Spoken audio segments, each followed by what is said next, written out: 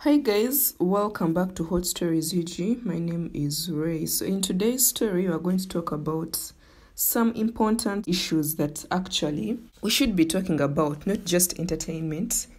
So I came across a post on Facebook on uh, Monitor actually on Daily Monitor today, uh, today morning. There is uh, this young man who is a student at Kyambogo University so he secured himself a job with a certain company called Global Paper Limited in Balala in Mukono, in Mukono district. So according to the story, uh, this young man was kicked in his manhood by his Chinese boss.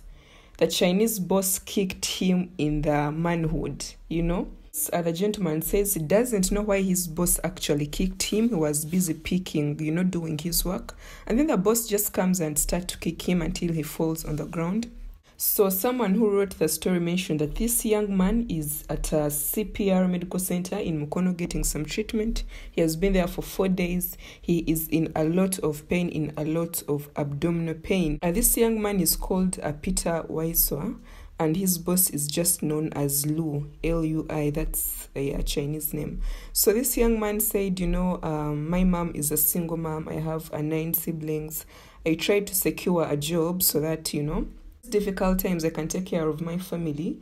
But now I'm lying in a hospital because my boss assaulted me and the medical bill has accumulated. I don't even have money. Uh, the HR, the human resource manager of this company, I refuse to make any comments. I definitely, I believe that HR has a job to protect.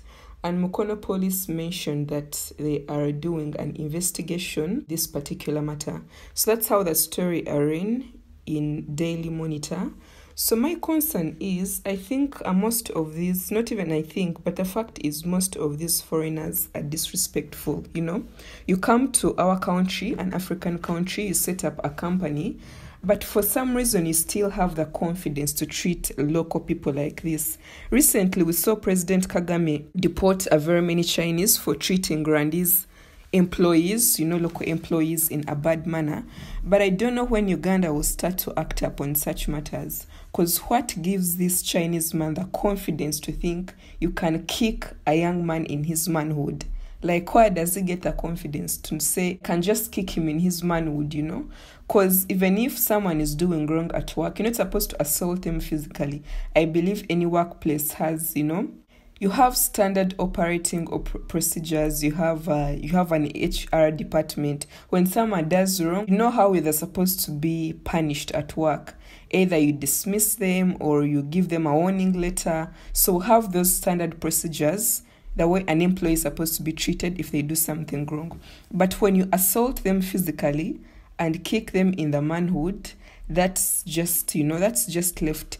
So these these foreigners I, just have most of them just have kamanyiro really.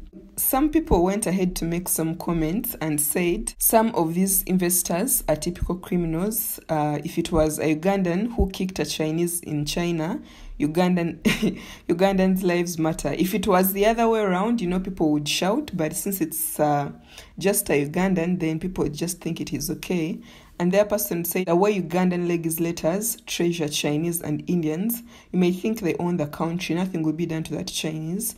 And this nonsense, you can't find it in any other African countries like Kenya, Tanzania, it's only in Uganda. I wish it was Amin's time. I think it's time it changes, really. You can't come to our country and disrespect us like this. This shouldn't be acceptable, you know. This shouldn't be acceptable, really. Someone else said, when shall we get another president like Idi Amin, Dada? Asians really enjoyed life in Uganda after Idi Amin. People say, uh, let's fight uh, these people left, right, and center until we chase them. So, of course, uh, definitely this is wrong. I don't think uh, these Chinese should get away with this kind of crime in any manner. I wish, as a lawyer, I would definitely make sure he is dragged to court and sued or even deported. This is just unacceptable. I think if you're a foreigner in a country, the least you can do is to respect people. It's just as simple as that. Respect each other. It's very disrespectful when you kick a man in his manhood. Anyway, I just thought I, I bring this story. These are the stories that won't get the most views, but these are the matters that actually do matter the most, you know. These are issues that are actually in our country. But uh, uh, click on the subscribe button, and share your thoughts of what do you think about these foreigners who come to our country and think they can disrespect us. And it's not only this one, this is just a representation of very many other such incidences that happen at work because we have very many Chinese companies, we have very many Indian companies, and they employ very many locals. Personally, I've worked for an Indian company before. So, what do you think of such? Concerns. What do you think of such a matter? Share your thoughts. Click on the subscribe button, tap on the bell, and thank you for watching. See you in the next story. Bye.